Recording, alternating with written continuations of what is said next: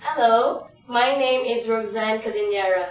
You can call me Rox, that's R-O-X. I graduated with a degree of Bachelor of Elementary Education, major in Content Education, and specialized in Technology and Livelihood Education.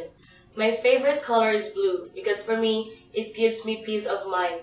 I also love listening to music and watching movies too. My most watched movies are horror movies.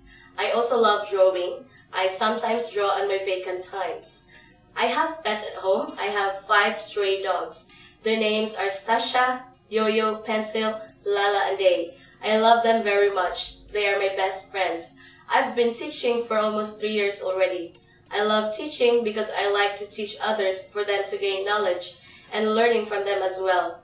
So what are you waiting for? Come on, join my class now. See you online.